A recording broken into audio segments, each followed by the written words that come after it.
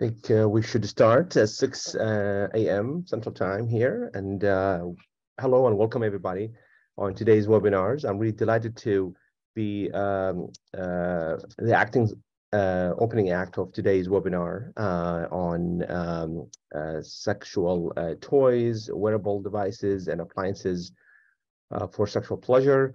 And from the global perspective, um, my name is Dr. Omer Raheem. I'm a urologist at the University of Chicago and uh, also the ISSM webinar um, uh, series uh, from ISSM.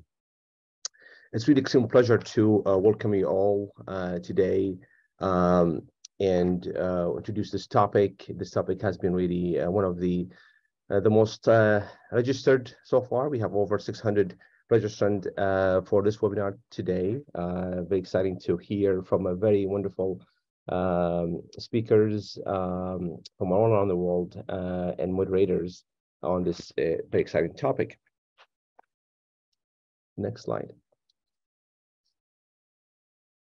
So I want to just also mention for the audience that uh, we have a new feature uh, where you're able to uh, listen and uh, read the subtitles. it's going to be um, all uh, translated to a language of your choice. Uh, just by choosing your language, you can uh, see the translation from English to uh, to your uh, uh, desired language. So this is a, a, new feature that we want to provide to you, so make it easier for you to understand the, the webinar and maybe be more, more active, interactive with us.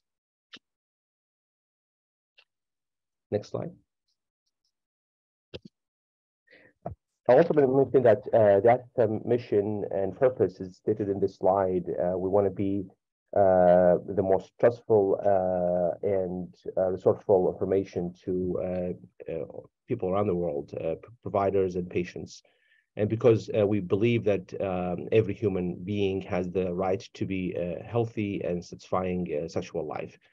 Um, ISSM has been around since 1982 for the last 42 years uh, the ISSM has been very active in different areas and providing really the highest information uh, in terms of education to the whole field of human sexuality. Again, a mission is to be really the most respectful and trustworthy uh, source of information uh, that provide education uh, to um, uh, doctors and patients um, around the world.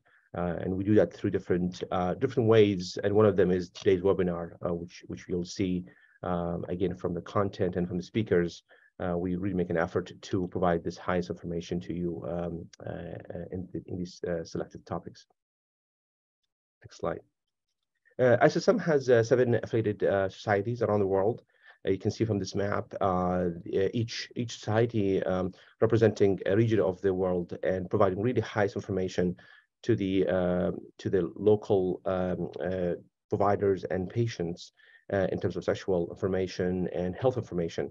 Um, uh, but the ISSM really, um, uh, uh, uh really um, mission and purpose is to uh, interact with all the societies and, and, provide a platform where which, where which that we can interact and exchange information, and again to provide the highest information um, to the to the to the masses. Um, so we'll be very active in, in liaising all these activities. Mm -hmm. Next slide. Uh, we do this, uh, our mission really of education uh, is done through a series of obviously different educational platforms, uh, certainly the virtual one. Today, for example, uh, we have over 600 registrant. Uh, this is a, a, testimony of the of the work that we do in, in, in, this arena, but that's not enough. We have four flagship journals. the top one is Journal of Sexual Medicine, Impact Factor 3.9, provides really the uh, uh, Uh, uh, the most evolving and updated uh, uh, science and basic science and clinical information in, in, in to, to doctors and patients. Uh, the second journal is Sexual uh, Medicine Open Access, also provide um, really uh, very important basic science as well as clinical information. And we have also Sexual Medicine Reviews, which is a journal that's highest impact factor of 5.3, and again, providing really wonderful reviews pertaining to sexual health. And lastly, we have the video journal Prosthetic Urology. This is a journal that specific um, publish uh, video journals uh, or video articles of surgical techniques uh, that the surgeons uses to address uh, uh, sexual problems um, in in uh, in in um, different genders. Today's today webinar will be moderated by two wonderful speakers, Dr. Estela Citrin from Uruguay and Dr. Nagina uh, Uh, from uh, Texas. Uh, so let me introduce Dr. Cuascud first. she's a clinical psychologist and educator and founder of Texas Sexual Health in North Texas, USA.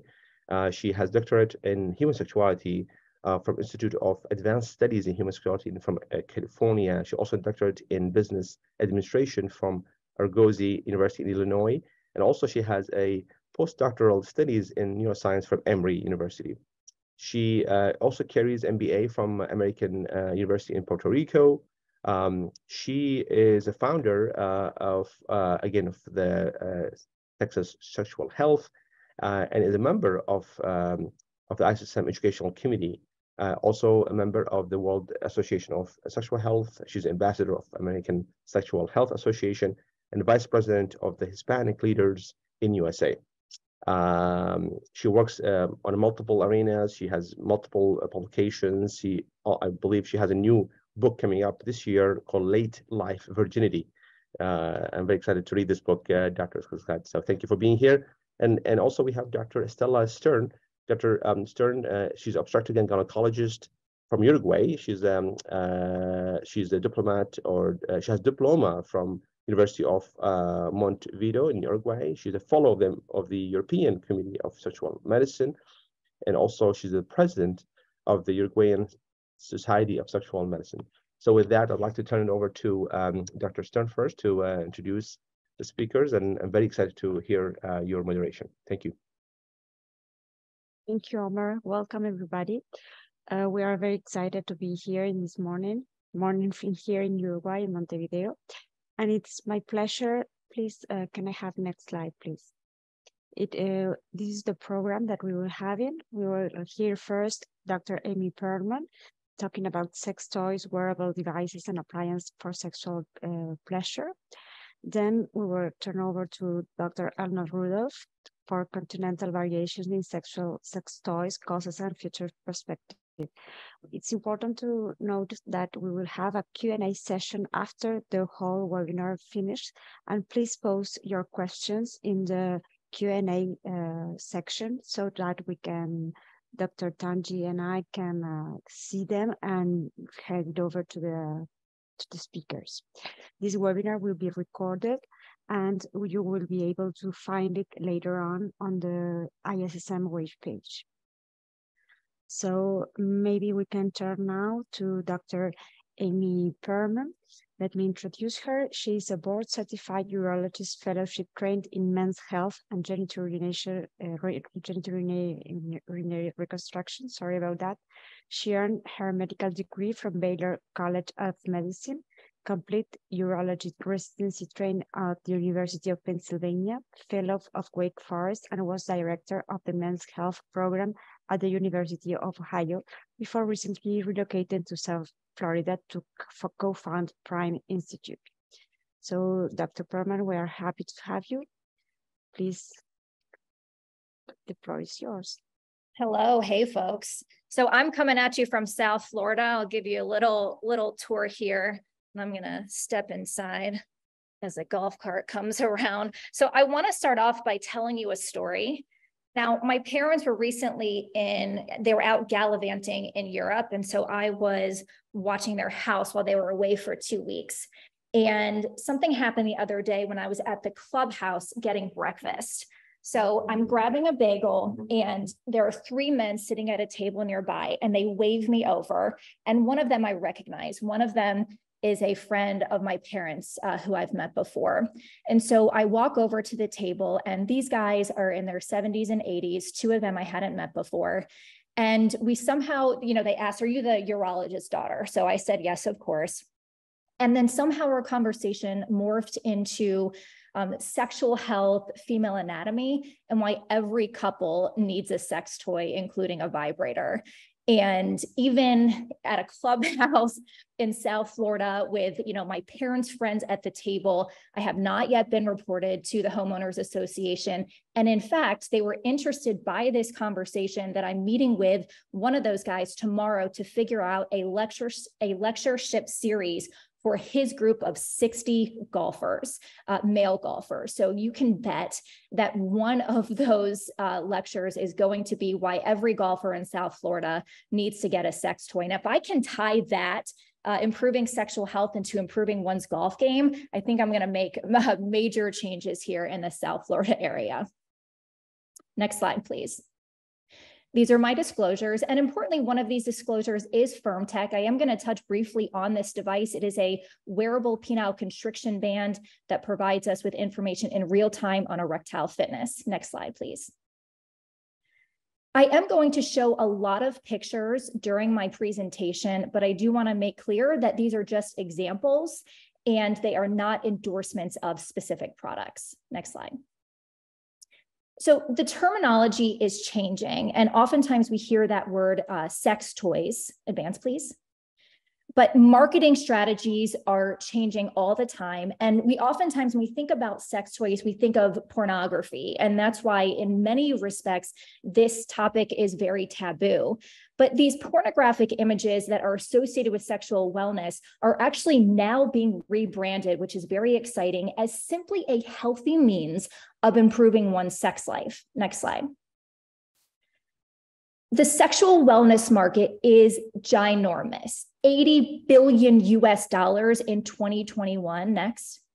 And the growth is expected to go up to 112 billion by 2030. So we know when it comes to this overarching, overarching sexual wellness market, it is huge. People are interested, patients are interested, and healthcare providers also need to be interested. Now, underneath this sexual wellness market is the sex toy market, also a huge market, estimated to be 35 billion in 2023 and it is nearly going to double by 2030. Now, key factors driving this market growth include a demand from customers to enhance their sexual experience, not just related to porn, liberalization, social media, and the influence of pop culture. And this increase in popularity of sex toys has been observed around the world women, couples are experimenting with sex toys, and they're also known to have medical benefits. So, even more than just improving pleasure, they can help within the medical space. People or, or women who have menopausal symptoms and neurological conditions can benefit. And in men, more and more products are coming out to tackle sexual problems like premature ejaculation, lack of libido, and erectile dysfunction. And we look at where these products are coming from and, and how people actually get access to these products. Most of it is through, uh, go back a slide, please most of it's through e-commerce. Um, oftentimes we think of these seedy sex toy stores where we might recommend our patients go, or maybe we've gone into them before, um, but that's actually not the majority of the market these days. And so with e-commerce, it allows a lot of people access to these products out of the comfort of their home. Next slide. When it comes to globalization of the sex toy market, North America currently holds uh, the greatest share. So, about one third of the market comes from North America. But um, according to a survey in 2019, over 50% of Americans have used sex toys to improve their sexual experience. Eh, but these are very popular around the world, and European countries are also a leading contributor to, contributor to the market. Traditional vibrators and dildos are actually the most popular products in these countries. And you can see here, in terms of the fastest growing market, Asia Pacific is actually expected to register the fastest market growth up to 2030. Next slide. So you would think with all this interest, multi-billion dollar industry. You know why is everyone not using these products? And why in healthcare is this not a common topic that we discuss well, there are a few problems that we'll define here. One being that sexual health goals are different for every person. So, you know, we like to recommend uh, one or two products, right? That makes our jobs easier as healthcare providers if we can say, oh, this is, you know, a really good vacuum pump, or this is a really good traction device, or this is a really good medication. But you'll see, I mean, there are um, hundreds of different types of products. And so that can make it both overwhelming for patients and providers when it comes to just a place to start. The other problem is that common chronic conditions are associated with sexual dysfunction. So it's not even about which products we can recommend that can help a person reach climax, but it might be in the setting of someone having diabetes or arthritis or wheelchair bound. Next slide.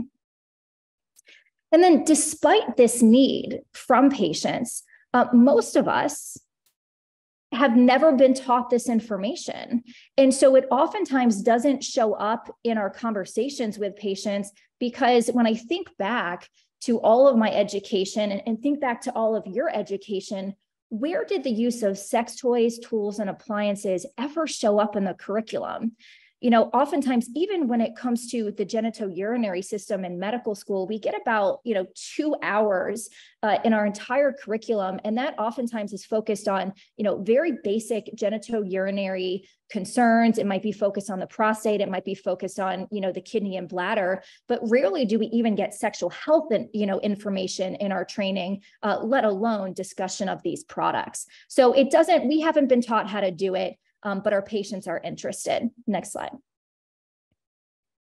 So now the fun part of this discussion, we're going to talk about solutions because I don't want to just complain about the problem. We're going to talk about how we can fix it. And I have a lot of different products here and I'll go through some of these just to provide some guidance on where each of these devices might play a role.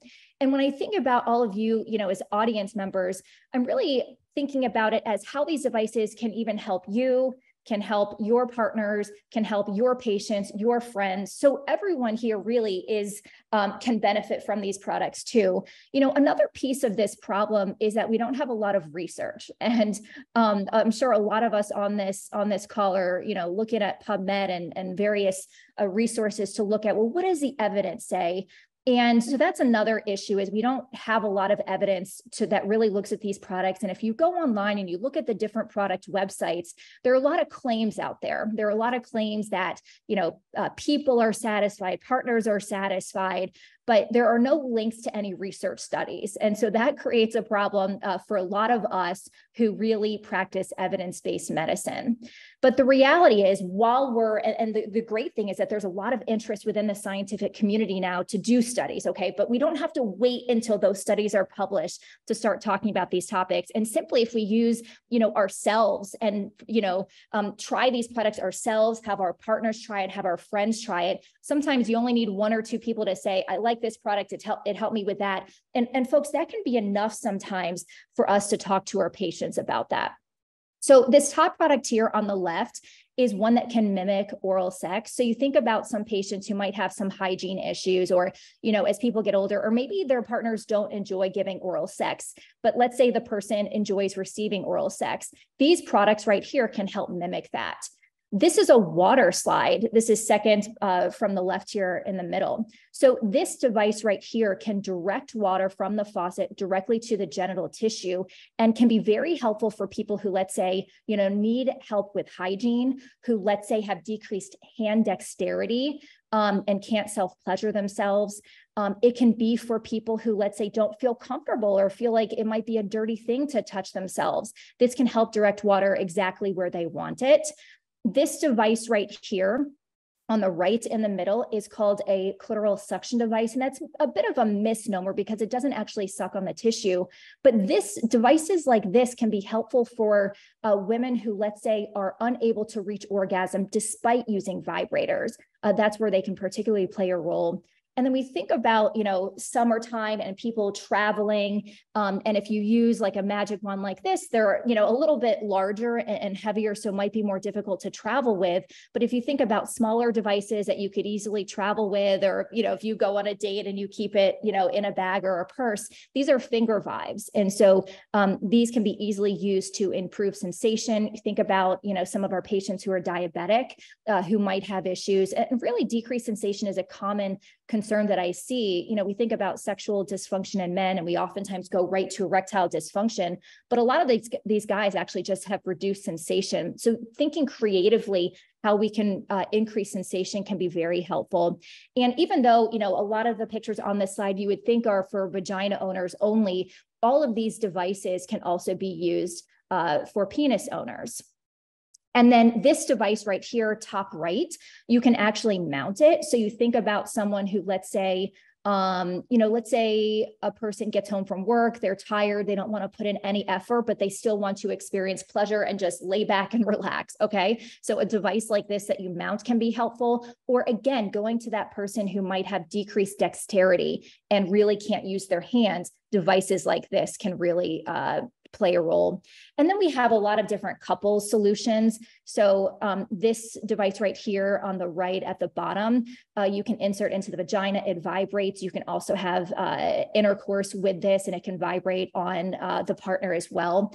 And it can be uh, controlled remotely. So we think about a lot of our patients who, or people who wanna optimize spontaneity, and there are ways uh, that you can do it or you know different role playing situations with kind of control and the partner can control the other person's pleasure which you know for some couples can can bring in some excitement. Next slide please and then we'll talk about some objects here that can be used for, for penis owners. And at the top left right here, uh, we have a strap-on dildo, which sounds like a little bit of a scary term and maybe something that is, you know, spoken about in pornography. Um, but recent research out of Canada um, is showing that people actually prefer that we change our terminology a little bit. So, especially for people who are showing up to see us in the healthcare setting, our terminology matters. And if we change our terminology to say something like an external penile prosthesis, uh, that you know might sit uh, better with some of our patients, and, and that's really what this is right here. So you think about some indications where this could be helpful with our patient population. So one could be, you know, a lot of guys want a bigger penis and depending on certain positions it might be necessary for that person to engage in a certain you know position to have a bigger penis um, but there aren't great ways, uh, medically or surgically, to provide that for the patient.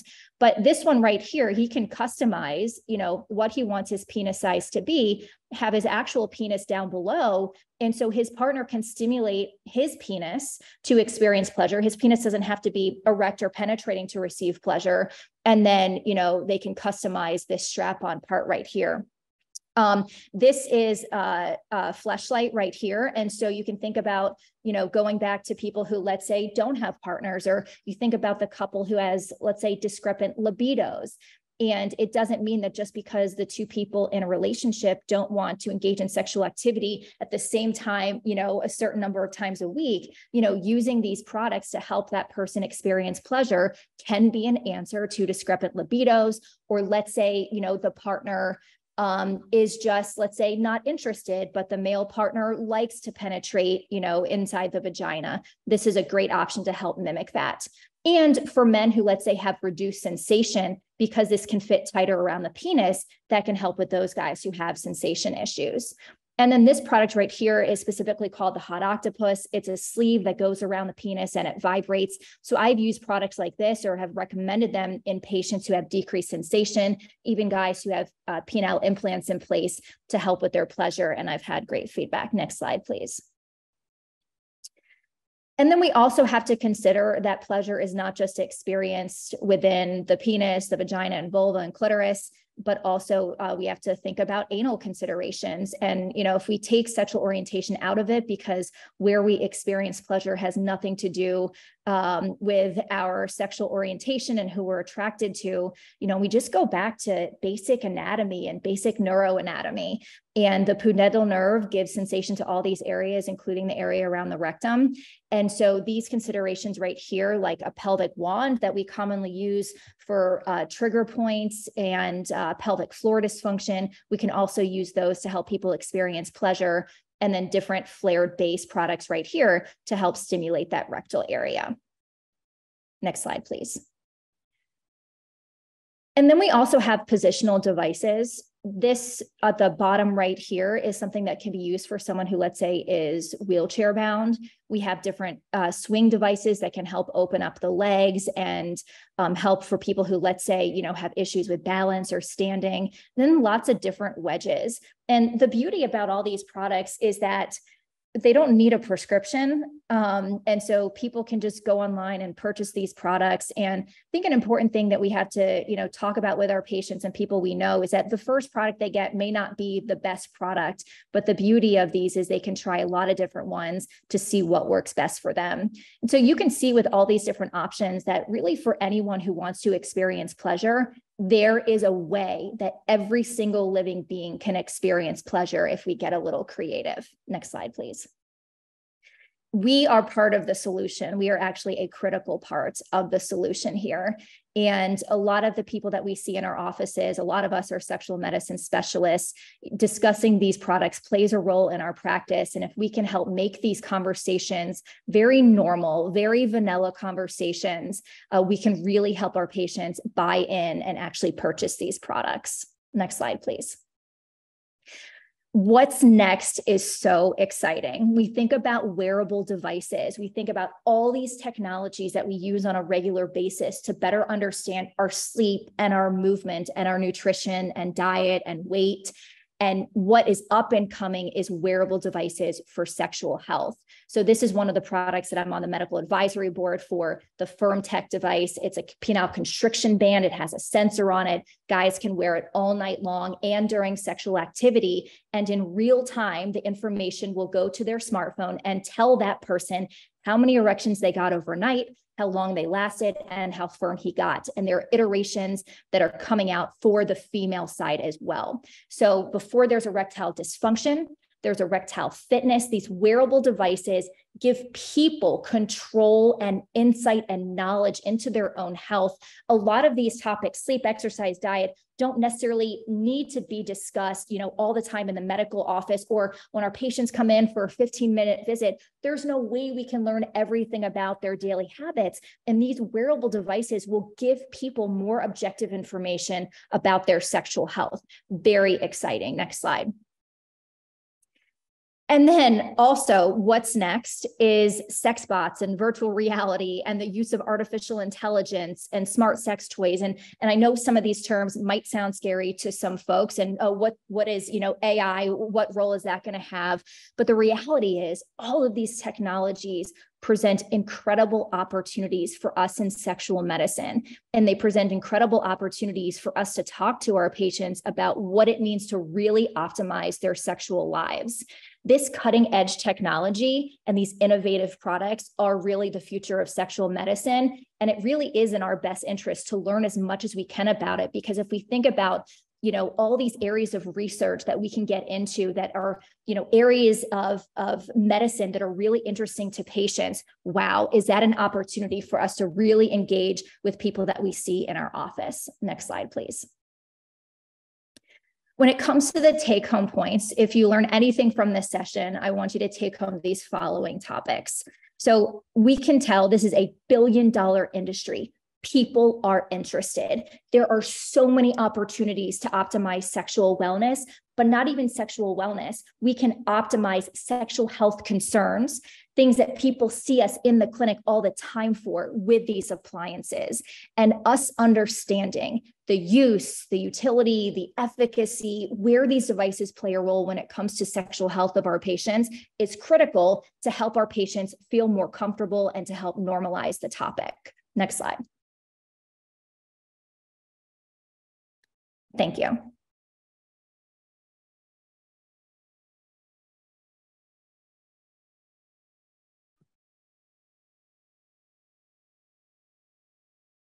Thank you so much for that wonderful presentation. That was so exciting and I am, I cannot wait for the future of all these devices. And uh, right now we have Dr. Elna Rudolph, who is the president of the World Association of Sexual Health and only the second woman and the first person from Africa to serve in this role.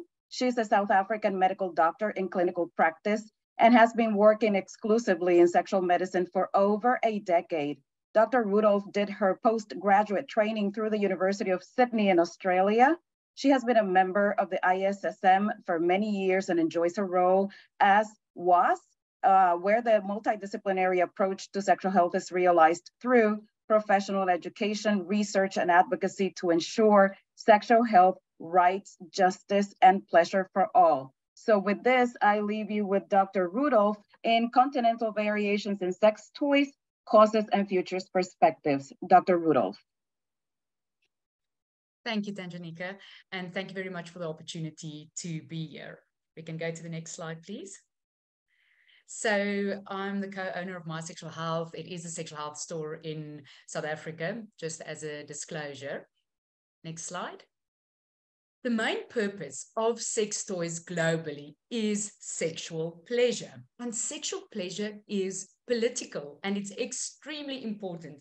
International comparative research has consistently shown that diverse forms of sexual pleasure improve individual happiness and overall health but it also improves relationships and it contributes to the health of individuals, the couples, the families, and the whole community. So, sex toys can actually change the world. It's important that sex toys, wearables, and devices are available globally. And I'll show you why now. Next slide we think that it is so important that um, it is actually part of a human right. Sexual pleasure is a fundamental part of sexual rights, which is a human right. And at the World Association for Sexual Health, we have a whole declaration of sexual rights. And many of those rights actually pertain to the availability of sex toys globally. And as you can see, our slogan is it is actually our official slogan is sexual health and rights for all. But in this administration, we are focused on pleasure and justice. And pleasure and justice are actually quite closely linked. Next slide. So we put together a panel of consultants in 2019 and then next slide produced a declaration on sexual rights, uh, uh, sexual pleasure, sorry. This was the follow-up declaration and you can Google this, the WAS Sexual Pleasure Declaration and read it. And it's really a beautiful declaration. I would love to read it to you now as if it is a piece of erotic literature or poetry, but I can't. There's no time. But it basically talks to all of us as healthcare providers, calling us on focusing on sexual pleasure in our clinical interactions with patients on an ethical, in, an ethical way, but then also definitely calling governments to make sure that people do have access to sexual pleasure. Next slide. And last year on World Sexual Health Day, which is on the 4th of September every year, I invite you to join us this year and celebrate World Sexual Health Day with us. It's on consent this year. But last year we our theme was Let's Talk Pleasure.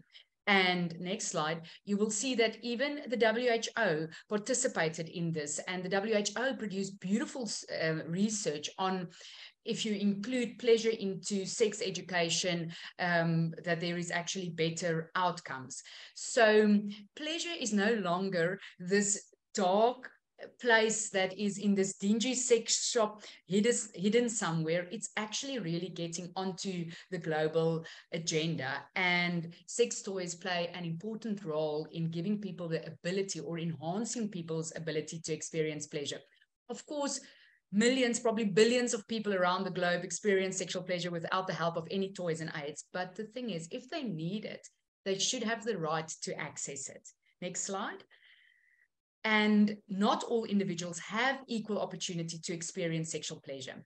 Sexual pleasure is a given for men. And if I say that, obviously not all men um, experience sexual pleasure and not but 95% of them seem to experience sexual pleasure and 65% of women only with only 25 to 30% of women regularly orgasming from from penovaginal sex whereas 90% of men do. So if our perception is Sex is something where a penis goes into a vagina and it moves in and out, and that then gives both people sexual pleasure. We are wrong. If we as healthcare providers think that that is pleasurable sex, we are wrong because the evidence show that yes, most men, but not all men, get pleasure from that, and really not all women. One large American survey also showed that 30% of women said that they had pain during their last sexual interaction. That's massive, one in three. And only 5% of men said that, but that's also quite a lot. Why did, why did one in 20 men have pain during their last sexual interaction? Unless, of course, they asked for it and it was under very controlled, consensual circumstances.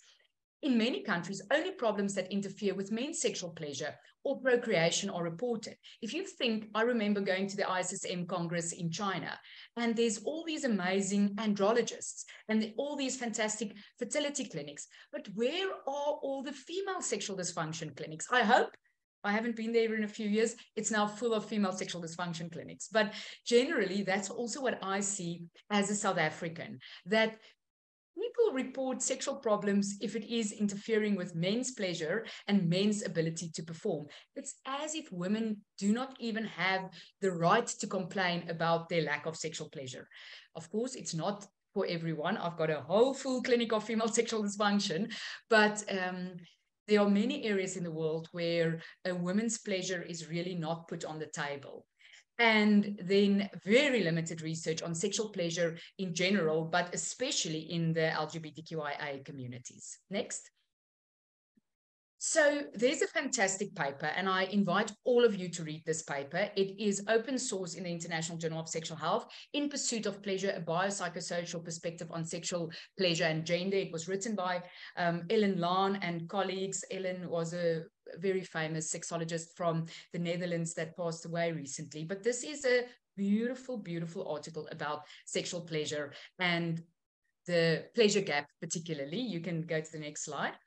Um, and it says that sexual activity in most cultures is less pleasurable and associated with greater cost for women than for men, even if they do not differ in their capacity to experience pleasure.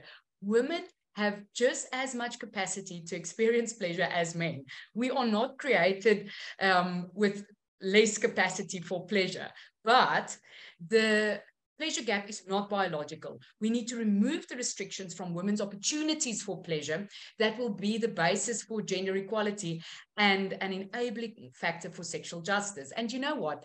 Uh, I mean, this might sound very feminist, but the reality is if it is a heterosexual couple, where there's a man and a woman, um, if we look at the research, a major contributor to men's sexual pleasure, pleasure is also the fact that the woman experiences pleasure.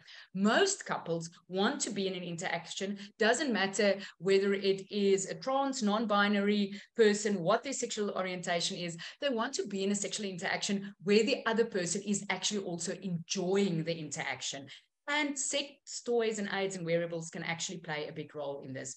So removing restrictions to sex toys and sexual age is a protection of human rights and an act of justice. Next slide. So what are these restrictions? The probably the biggest restriction is the societal norms because societal norms until this day influences government laws and policies. Many societies there's the notion that seeking the seeking of sexual pleasure is in itself dangerous and destructive and a negative force that will lead to societal chaos and anarchy. So sex toys can be seen as the enemy of government you know who do not practice evidence-based uh, policy making they think for some reason we now have sex toys available in our country, it is going to lead to total chaos. Believe me, I live in a country where sex toys are freely available and there are many many other reasons for the total total chaos that we find ourselves in.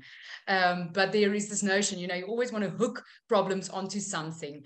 And uh, honestly from the evidence we know that it does not cause anarchy for centuries, medicine and psychiatry also contributed to this notion by advocating for any sex other than sex for procreational purposes as being unhealthy and posing a risk for the stability of individuals and societies.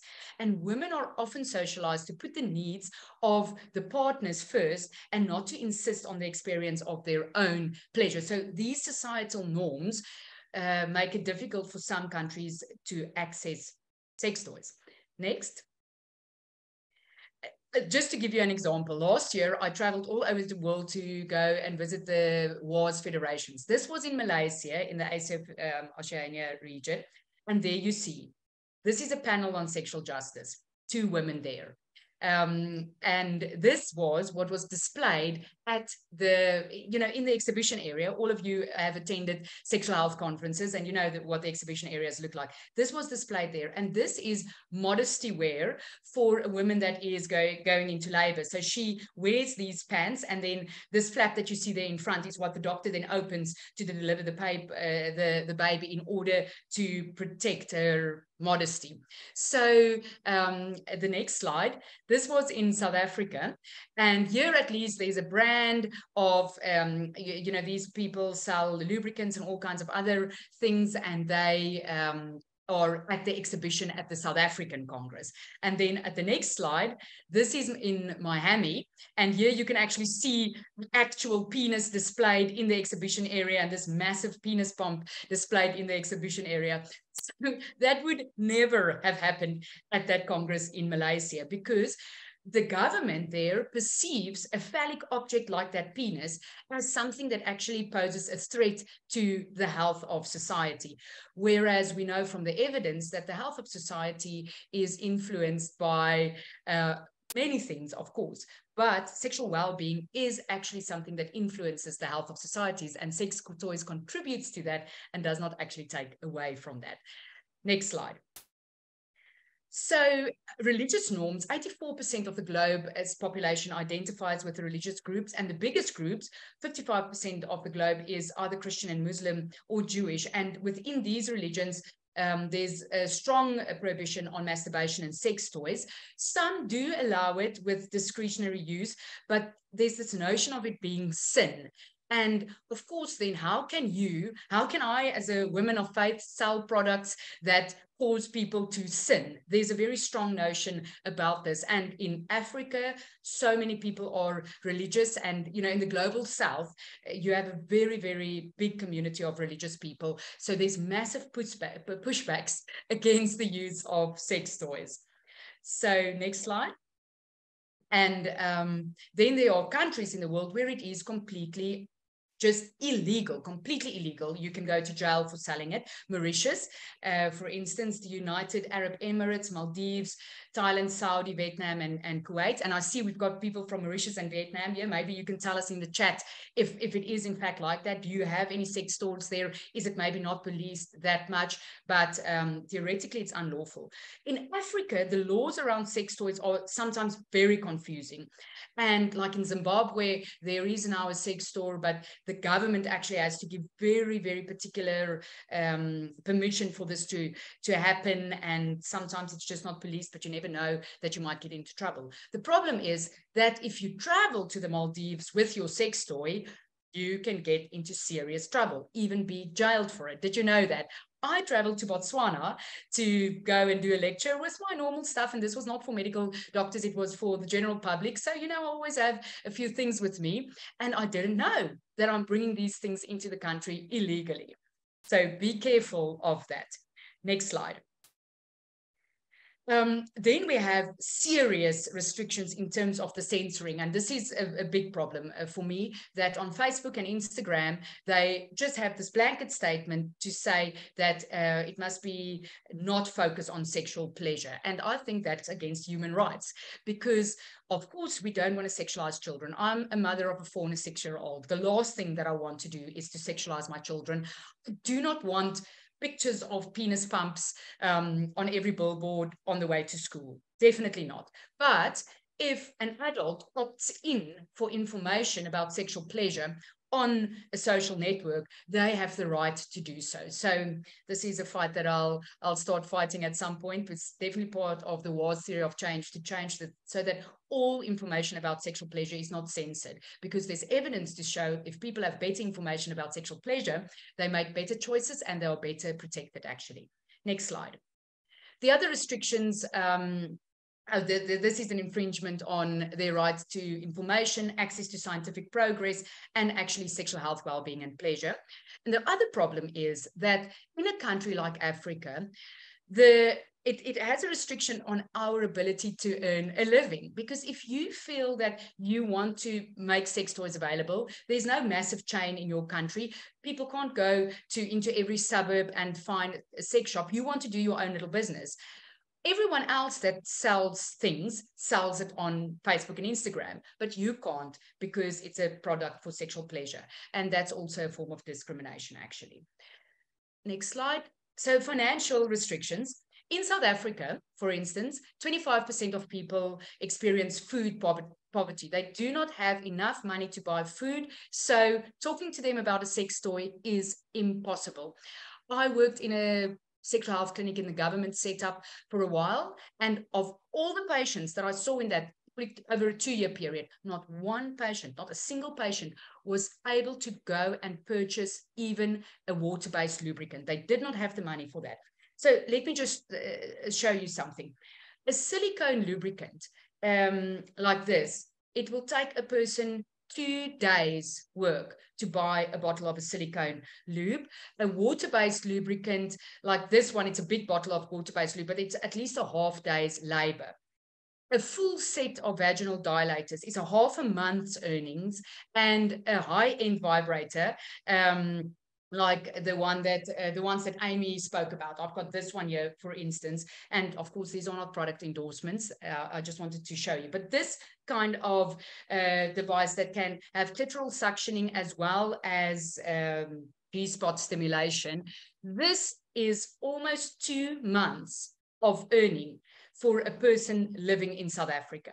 Now, obviously not everyone, but if you are um, lucky enough to have a job.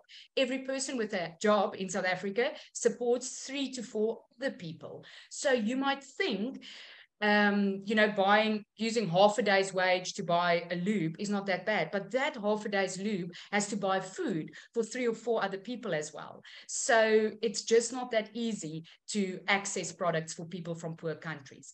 In the rest of Africa, 85% of people live on less than $5 a day. And the cheapest product in our store, um, which is something like this. And if you ask the, the um, all these commercial sex shops, they will tell you that this is the best seller all over the world. A tiny little vibrator like that. It works fantastic for anorgasmia. This is what I suggest for all my patients who can't orgasm. Just buy a cheap entry level vibrator, put it onto the clitoris, and you'll um, are much, much more likely to orgasm from that stimulation than from manual stimulation. But it's not accessible for people to buy even the cheapest product on the store. So many people have no means to invest in sexual toys or aids. Next one. Um, is uh, the starting a sexual health shop or sex toy business requires a significant amount of capital in a field where sex sells, but it is still severely stigmatized. When I started my practice, I um, wanted to tell the patient with sexual pain, listen, you need a silicone lubricant, but actually to use with your vaginal dilators, you also need a, a water-based lubricant. Then um, you get those two from two different places. Then you need to buy a set of vaginal dilators.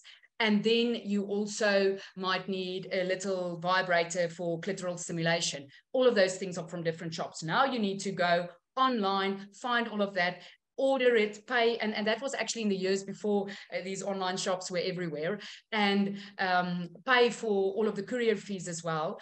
And then I'm also going to prescribe you various medications. You need to see the physiotherapist, etc., etc. So I just realized this is not going to work. Uh, patients are non-compliant. So I set up a separate sexual health shop in my practice where patients could then purchase that. But it's been running for six years, and um, it's subsidized by my practice. And I have to have multiple employees. I've got 10 different suppliers. I have to manage 100 different things on the stock list. I never made money out of this thing. It just takes a lot of my time. But for me as a clinician, I am really struggling to help my patients if I don't have the sexual aids available for them right there. It can be highly unethical if I'm trying to sell a sex toy to everyone that walks through my door, definitely. But there is this balance between rendering a good service to your patient, making these things accessible uh, for them so that they can they can have access to them to improve their sex life and um, you know just trying to make money off your patient. So next slide. Uh, the logistics for patients is a lack of sex and sexual health shops online or on site in many countries in the world. Still, sex shops don't sell sexual health aids. So I'll just show you some of the sexual health aids. These are by far the best sellers in, in, in our setup. It is like a tiny little vaginal dilator like this going up to, this is a size five. Um, and then we go up to size eight as well, but most men are slightly smaller than this size. By far, the product that sells uh, most from our shop. Then there's things like a penis pump. Now, if you look at what a typical penis pump looks like, it looks like this. This is something that you might not want to have in your house because if your child sees it, it's a big problem. So you might rather want to have a product like this, a tiny little pump that is actually extendable that you might travel with. It doesn't look as phallic if you travel with it because it looks like just a little cup. And if your child finds it, it doesn't look as obscure.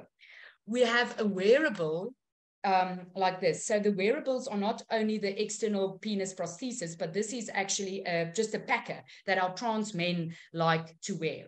And um, I'm just looking at all of my goodies. Look at this. This is a, so the vaginal dilators, and then these are anal dilators for anal play. These are things that are sexual health products that you will not necessarily find in an ordinary sex shop. And the person that works at the sex shop isn't trained to actually take you through this whole process of preparing for anal sex, for instance, with something like this. Uh, and that's a barrier sex shops um, are often not the kind of establishments who, that patients who access sexual health services want to frequent you know they they think that oh no that's dingy erotica, which it sometimes isn't. Sometimes you've got amazing sex shops uh, here in South Africa. I know of a few, but people don't necessarily want to access it. And then you might need to go to multiple establishments, as I've explained. You can go to the next slide.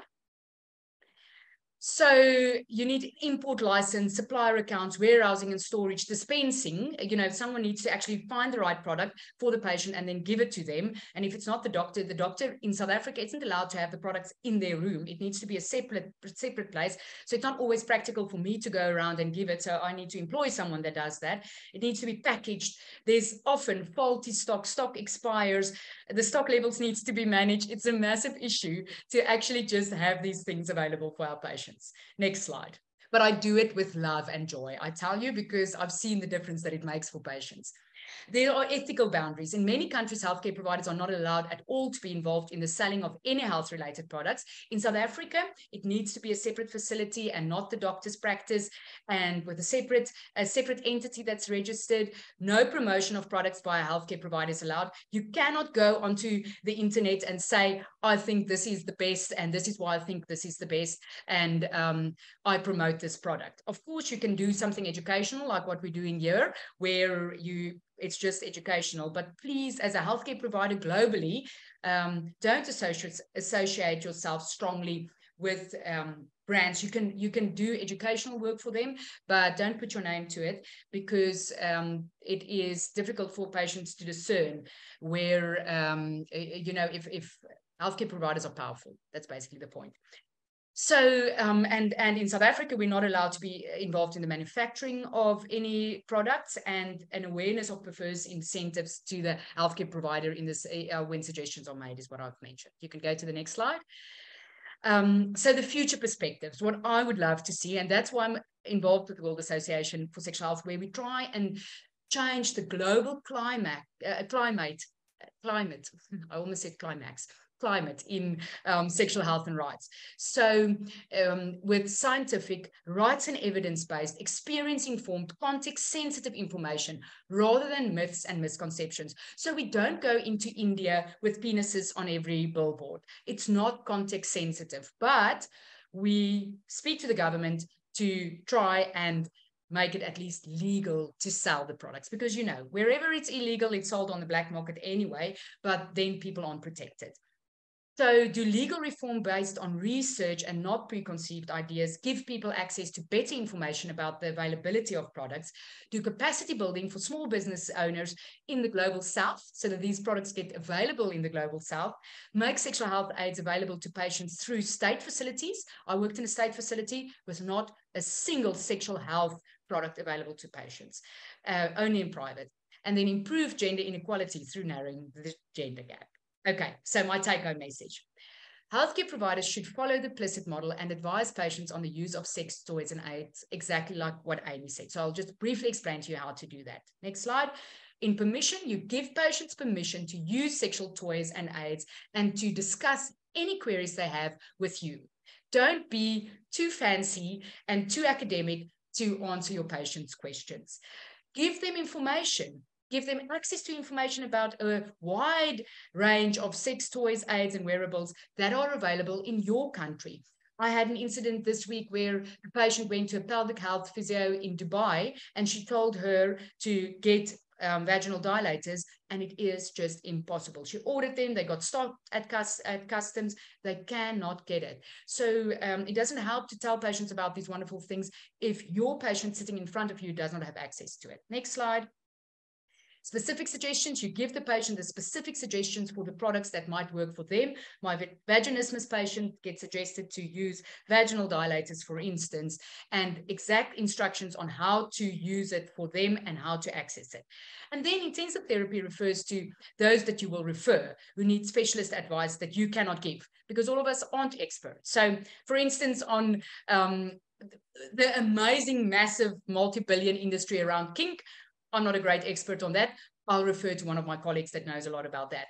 Or out of control sexual behavior or specialist uh, specialized needs like certain mobility stuff. We've got occupational therapists on our team that can help with the um, mobility stuff and other medical conditions. So with that, I conclude my talk and I will be very happy to take any questions. Thank you very much. Thank you very much, uh, Dr. Rudolph. That was a very exciting, very exciting presentation. And uh, uh, it makes uh, this topic very complex and complicated all over the world as we saw the differences between Amy's uh, presentation and Elna's presentation. Now we do have some questions from the audience. So number one, Dr. Elna, do sex toys affect couples' sex life? you know, um, I have very seldom, as a person who sees people with sexual dysfunction all the time, um, told a couple that you as a couple must buy a sex toy. But look, I'm not focused on couple therapy at all. I'm a doctor and I sort out individual sexual dysfunction. So um, I think that, for instance, a woman with anorgasmia influences that influences the couple. So she comes to me, I help her with a tiny little vibrator that in our um, life in South Africa is usually context sensitive enough. It's not this penis. It doesn't look like it's going to replace the partner's penis. Um, and we just start with that. And then she learns to achieve an or, or to experience an orgasm rather, and on her own first. And then we involve the couple, the, the partner in that. And then eventually the partner learns to give her, uh, I also don't like that word to give her an orgasm, but then they learn to experience an orgasm together. And so for me, that's extremely positive for the couple. But I started focusing on the on the women who had the sexual dysfunction uh, initially. Um, will it help if a couple's um, relationship is really in trouble, if there's a lot of resentment between them, if they're communicating poor, um, poorly, to just go and buy a very expensive vibrator? Unlikely. But can it add to pleasure? Just to pleasure, just to that moment of pleasure, certainly. And then we know that that moment of pleasure improves the relationship, um, which improves family life, etc., etc. You know, so I think it can be great for couples. Of course, you do have the incidences where the one partner feels very threatened by the sex toy, but I think through education we can change a lot of that as well.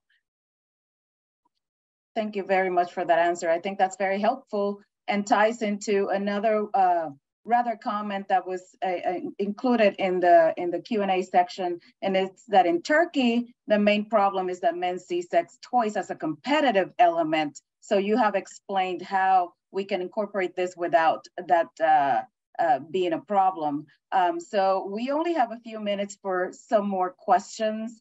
Um, and so there's quite a few here. And thank you so much. I don't know, Estela, if you would like to address the next question. Yes, please.